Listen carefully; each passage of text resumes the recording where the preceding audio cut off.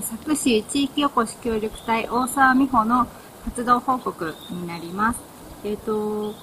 私のことを知らない方もいらっしゃると思うので、まず、えっ、ー、と、プロフィールと、あと、私がやってきたミッションのご紹介をしたいと思います。えっ、ー、と、私は群馬県昭和村生まれで、えっ、と、東京にて技術の専門学校卒業後、T シャツのグラフィックデザイナーとして10年勤務しておりました。で、その傍ら、フリーのイラストレーターとして活動しておりまして、えっ、ー、と、環境イベントを多数企画しておりました。で、えっ、ー、と、2011年に福岡県浮橋に移住しました。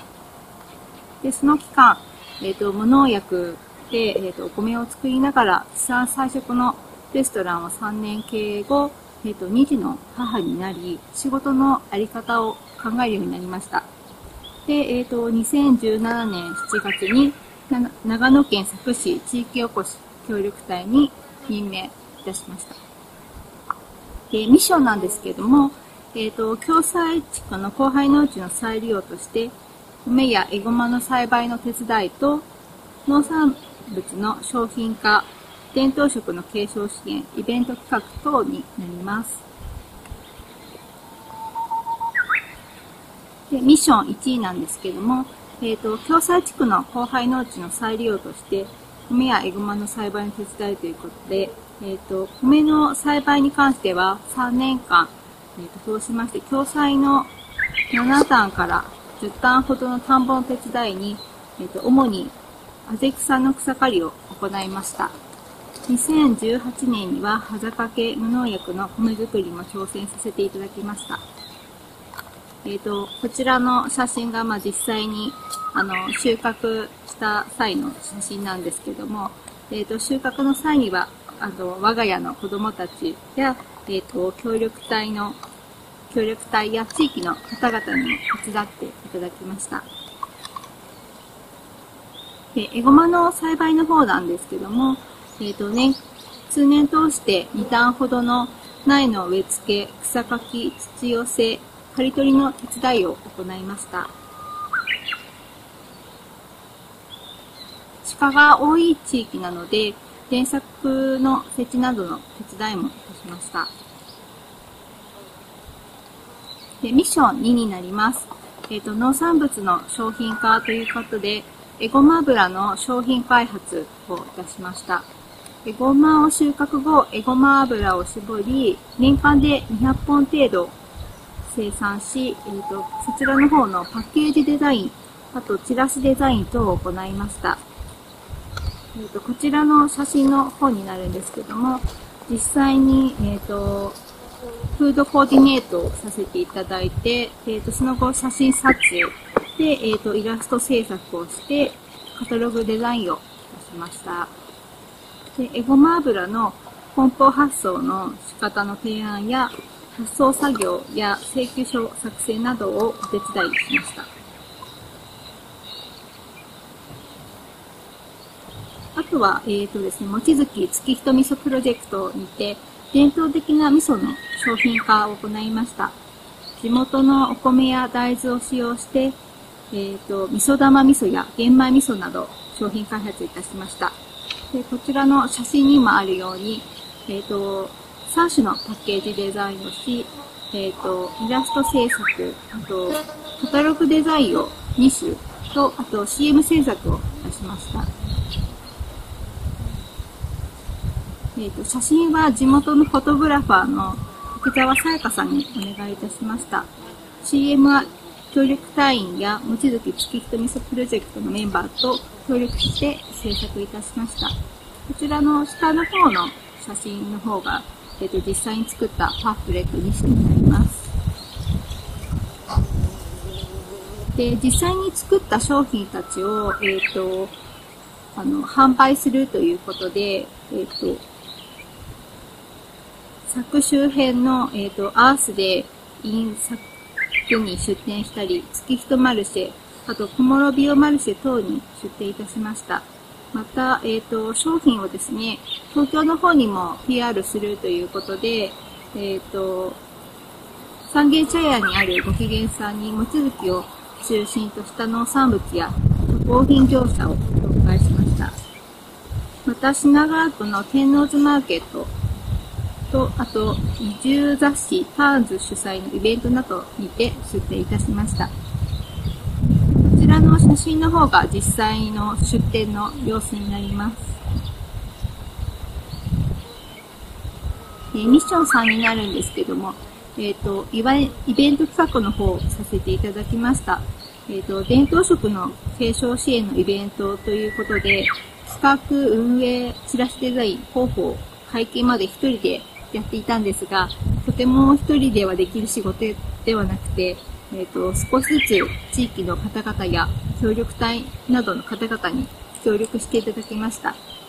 えっ、ー、と、下記のあの、チラシの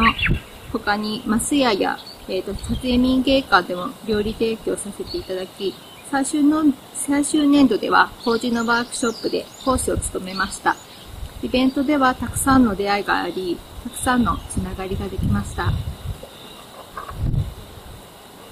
えっ、と、第1回目のイベントなんですけれども、えっ、と、大人の昼のクリスマス会ということで、望月在住の、えっ、と、イングリッシュ書店を作っている方を招いて、結農園の蕎麦とエゴマを使った料理を作り提供しました。あ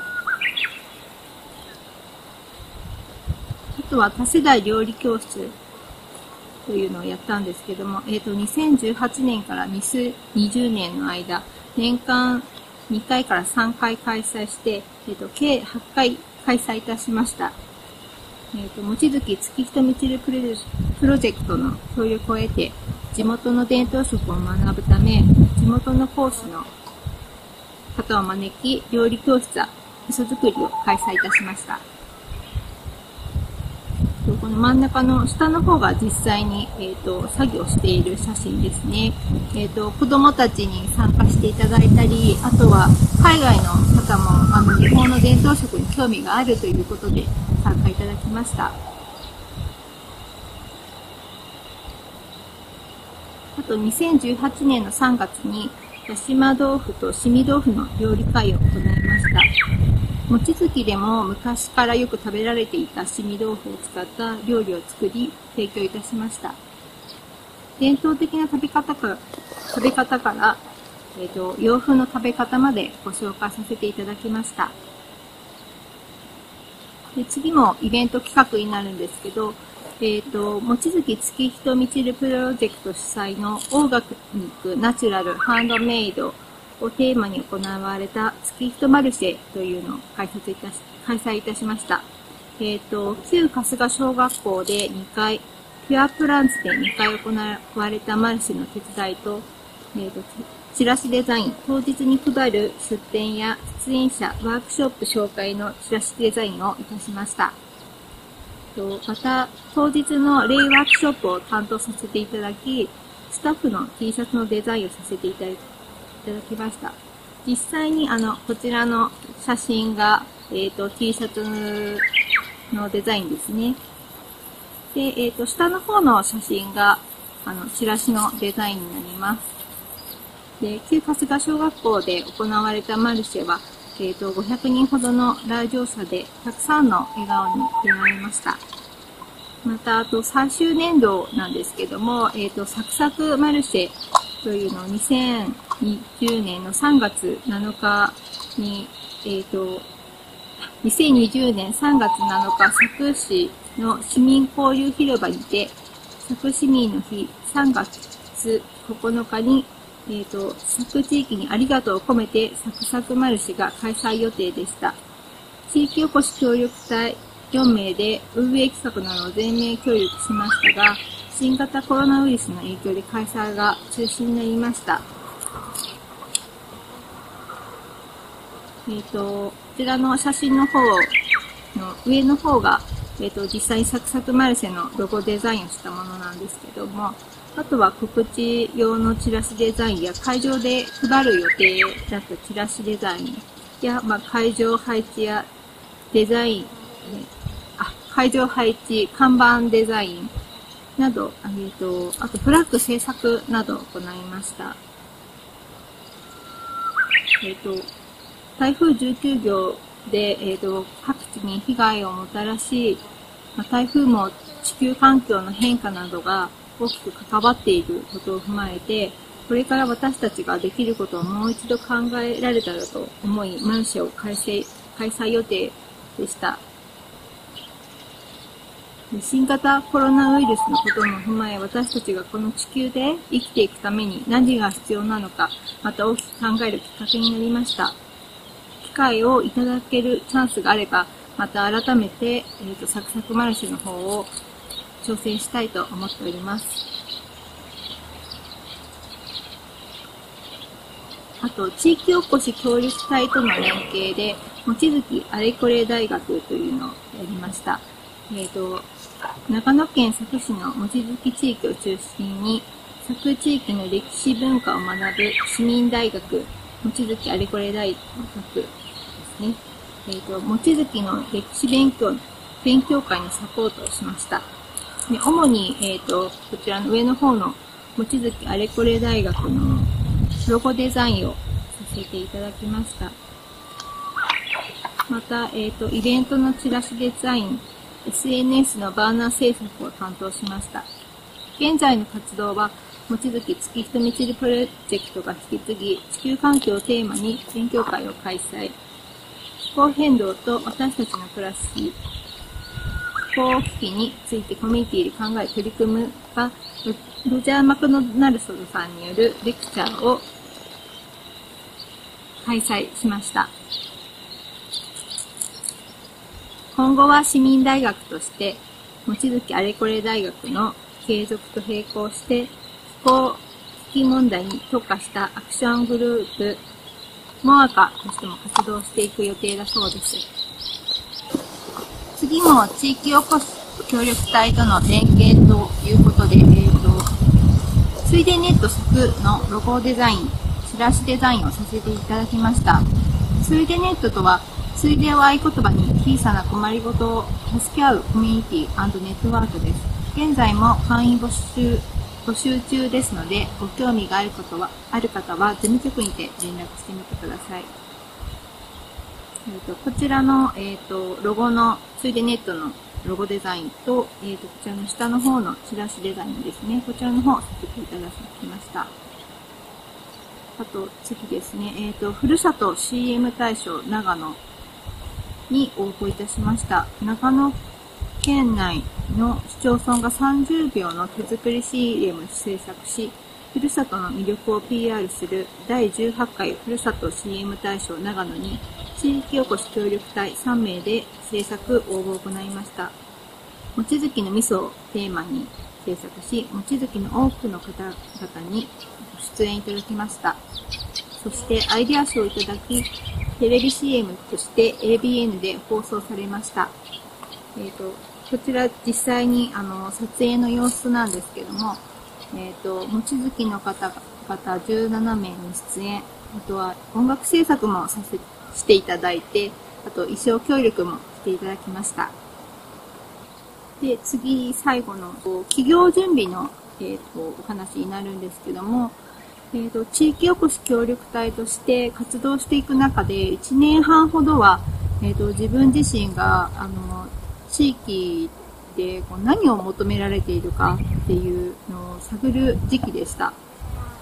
で今まで自分が得意としてきたデザインやイラストの仕事をすることでとても喜ばれたので制御に戻り地域貢献をしていきたいと思っています。また福岡でやってきた無農薬の栽培、無農薬のお米の栽培やこちらで学んだ農業を融合し、荒廃農地を再生し農業をやっていけたらと思っております。活動の最終年度は、えーと、農業研究、研修をさせていただき、農地開拓などをしました。で企業におけるコンセプトなんですけども、えーと、脳的暮らしを軸に持続可能な暮らし、えーと、健康や地域循環を考える、またクリエイティブな心を忘れず生活に潤い与え、心豊かになる提案をする、また小さな雇用を生み出せたらと思っております。でえーと、会社の会社がポカラカ社になるんですけども、え、ー、と、デザイン部と農業部に分かれて、えっ、と、デザインの方で、えっ、と、地域の農産物のパッケージデザインや、えっ、と、イベントのチラシデザインなど、あとは、えっ、と、お店のロゴデザインだとか、あと名刺やショップカード、そんなのやっていけたらなと思ってます。で、農業部の方なんですけど、農業部の方が、えっ、ー、と、ポカラカファームっていうんですけども、ポカポカ、ほがらかな毎日が過ごせますようにという意味で付けた名前です。で、えっ、ー、と、現在の主な研修先なんですけど、えっ、ー、と、望月の県の農場さんと、長谷川治療院農業部と、えっ、と、藤井農園にて研修させていただいています。で、主なえっ、と、作る作物になるんですけども、えっ、と、佐渡市が力を入れている、えっ、と、こちらにも植えてある、カモミールと、あと、ズッキーニズッキーニをはじめ、米、さつまいもなど、農薬や化学肥料を使わず栽培する予定です。で、えっ、ー、と、3年後を目安に品目を増やしていく予定で勉強しております。で、こちらのカモミールもそうなんですけども、えっ、ー、と、農業体験などもやっていきたいなと思っております。で、あとは料理教室、地域住家、移住定住を考えたイベント企画等をやっていけたらと思ってます。で、次のページになるんですけども、えっ、ー、と、実際にあの活動期間中に公務外でいただいたお仕事になります。えーとまあ、ロゴデザインだとか、えーと、お米のパッケージデザインですね。あと、笑いヨガのほほはははっていう絵本の絵を描かせていただくお仕事もいただきました。こちらの方はあのクラウドファンディングで、えーと、多くの方にご支援いただき本当にありがとうございました。あとは、えーと、地元の、えーと在来種のガンクー豆を使ったえーと、納豆のパッケージデザインですね。あとは、えーと、下の方のが、えーと、チラシデザインになるんですけども、えー、と、もちづきのコマのオマージュ、もちづきのコマ、えー、と、あと、災害復興応援チャリティーコンサート、マーケット、えー、と世界のクリスマスを駆け巡ろうっていうの、こちらの、えー、とチラシデザインもさせていただきました。あと、商工会青年部の、えーと、お祭りのチラシデザインをさせていただきました。で次の資料なんですけど、こちら、えーと、実際に農業部の方でやってきた活動なんですけど、えーと、テスト栽培したさつまいもの収穫祭を行いました。あとはですね、今こう綺麗にカモミール咲いてるんですけども、えっ、ー、と、冬になる前に植え付けをして、で、まあ、春、こう、成長してきて花が咲くんですけども、その冬の間にマルチ、強い風が吹いてマルチが飛ばされたり、飛ばされて、えっ、ー、と、こちらの写真にもあるように、あの、これ、こちらマルチが飛ばされた図ですね。慌てて、あの、ハウスのポールを乗せたんですけど、この後、土をまたかけ直して、やり直しました。とは、えっ、ー、と、別の畑になるんですけども、あの、ズッキーニの畑がですね、3メートルほどの草が生えていて、えっ、ー、と、その草刈りを、まあ、こう、やるんですけど、1時間に1列ぐらいしかできなくてですね、えっ、ー、と、それを、まあ、秋の間に集めて、で、春に燃やして、で、マルチこう、マルチも敷きっぱなしになったと、なってたので、それを、まあ、回収し、あと、石拾いも行いました。で、こちらの方は、まあ、5ヶ月間費やして、やっと、えっ、ー、と、5月中頃植え付けができました。あと、こちら田んぼの写真なんですけども、えっ、ー、と、自分自身で初めて田植え機を使った田植えをやりました。えっ、ー、と、田植えをやる際に、あの、夫や、えっ、ー、と、地域の方々に教えていただきました。で最後に、えっ、ー、と、皆さんに、あの、感謝の気持ちをお伝えしたいなと思っております。えっ、ー、と、3年間で、えっ、と、地域の方々、市役所の方々、地域おこしの協力、地域おこし協力隊の方々、本当に大変お世話になりました。えっと、一人で困っている時に、皆さんのお声掛けが本当に力になりました。また、あの、地域をデザインの力で PR していきたいと活動してきたんですけども、皆様の理解と力があっての仕事でした。もう本当に一人では到底できない仕事が皆様のおかげでできたことを深く感謝いたします。これから私は佐久市布施に住居を構え、えー、と家族で暮らしていくわけですが、本当にこの場所を選んでよかったと思っております。あの、佐久地域は本当に人のホープだなと思っております。こう一つつながるとそれがこう大きな広がりになり、素晴らしいエネルギーを生み出してくれるな、と。えっ、ー、と、この地域ならば、まあ、様々な難局も人の力で乗り越えられると思っております。私もその作市民の一員として、これからも尽力を尽くしていきたいと思っております。これからもどうぞよろしくお願いします。ありがとうございました。